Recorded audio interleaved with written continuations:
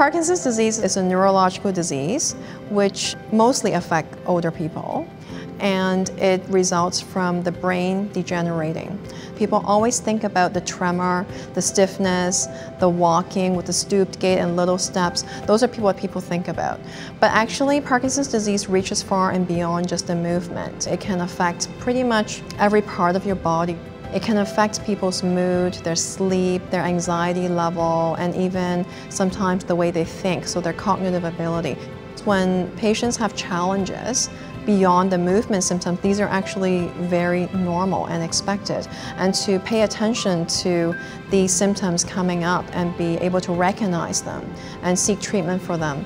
Because we know that these uh, non-movement symptoms actually can affect their quality of life even more than the movement symptoms. The care for Parkinson's disease patients are multi-pronged. We need to think beyond just medications. Uh, first of all, people need to be educated about what it is. By educating the patients and their families, then they become more empowered to do something about the, the disease and to live a better life, a better quality of life.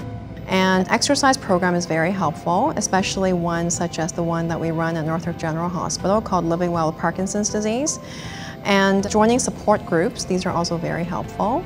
And in terms of medications, um, these are used typically when the issue or whatever symptom that we're talking about starts to affect their quality of life and their daily function. So for example, if the tremor or stiffness or slowness start to affect their daily function to the extent that um, the patient may have difficulty buttoning their shirt or doing their you know, normal activity like their daily hygiene and stuff like that, then um, we need to start medication. There are a lot of patients these days who can live a very long and fruitful life with Parkinson's disease. It's considered a chronic disease, so the paradigm has moved from trying to cure everything to trying to keep the symptoms under control and really to, to live with the disease rather than to necessarily fight the disease. I think you know people need to have a certain level of acceptance that um, that this is something that they're going to have to live with, and to make the best out of it. Hi, my name is Grace. Um, I'm the Parkinson patient, and I've been to the program run by North York General Hospital. I have uh, all kinds of uh, essential treatment as a dietitian she advised me what to eat, what not, how much I have to take in every day.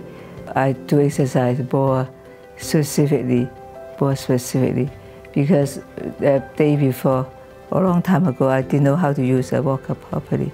And in the program, they trained me to correct all my bad habits.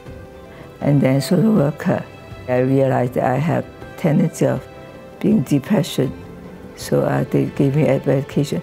It helps me a lot for a patient like myself, I, am not happy to, to, be hiding myself. I want to be more outgoing. Look at the craft that I made, look at the body picture that I made. Through this, I have kind of contentment. But for me, I have so many sickness. So each one come and I encounter, and I encounter new sickness, I overcome this one.